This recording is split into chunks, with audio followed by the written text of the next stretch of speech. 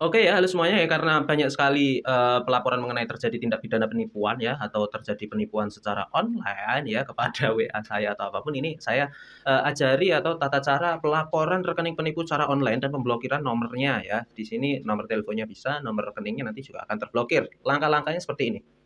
Langkah pertama yaitu Anda harus masuk ke uh, websitenya ini ya, cek rekening ID ya. Anda tinggal masuk ke cek rekening ID. Ini di bawah naungannya Kementerian Komunikasi dan Informatika ya. Ini untuk menjamin uh, transaksi elektronik atau transaksi jual beli atau transaksi apa pun agar lebih aman ya. Anda bisa periksa rekening. Untuk periksa rekeningnya sudah ada sebelumnya. Setelah itu ketika Anda mempunyai uh, toko online atau apa pun, Anda bisa daftarkan nomor rekening Anda di sini agar uh, orang yang akan bertransaksi merasa aman dan nggak ada yang namanya penipu di sini ya. Setelah itu Anda bisa laporkan rekening. Dan untuk kali ini kita akan, eee, mencoba untuk melaporkan rekening penipu ya, karena banyak sekali modus penipuan misalnya, eee, jual beli online atau misalnya nanti paket dari luar negeri yang paling banyak seperti itu, atau biasanya mengaku dari, eee, pihak CNE atau mengaku dari pihak cukai menahan, setelah itu ada juga yang dari, eee, scam berupa aplikasi dan lain sebagainya. Yang pertama Anda tinggal langsung klik, eee, laporkan, Anda tinggal tuliskan nomor rekeningnya, misalnya nomor rekeningnya ini Oke. Anda tinggal ketik selanjutnya. Ya. Pilih banknya terlebih dahulu. Oke. Pilih bank dan uh, ini ya. Setelah itu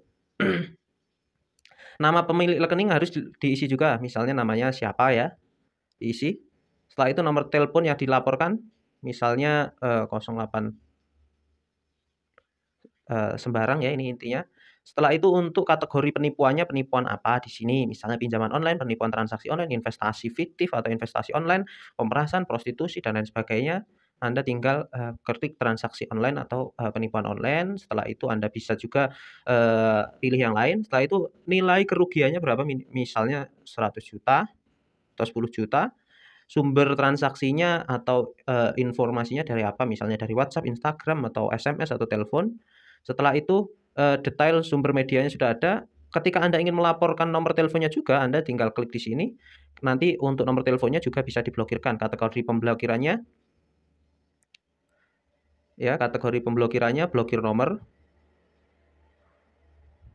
nomor, blokir uh, WhatsApp, blokir WeChat, Telegram, nomor WeChat dan nanti Anda tinggal pilih blokir nomor. Ya. Setelah blokir nomor, langsung pilih saja kategori aduannya ya, spam, investasi online atau penipuan, kita pilih penipuan. Setelah itu Anda tinggal isi lagi mengenai biodata pelapornya, pelapor Anda, setelah itu kronologi terjadi penipuannya seperti apa ya.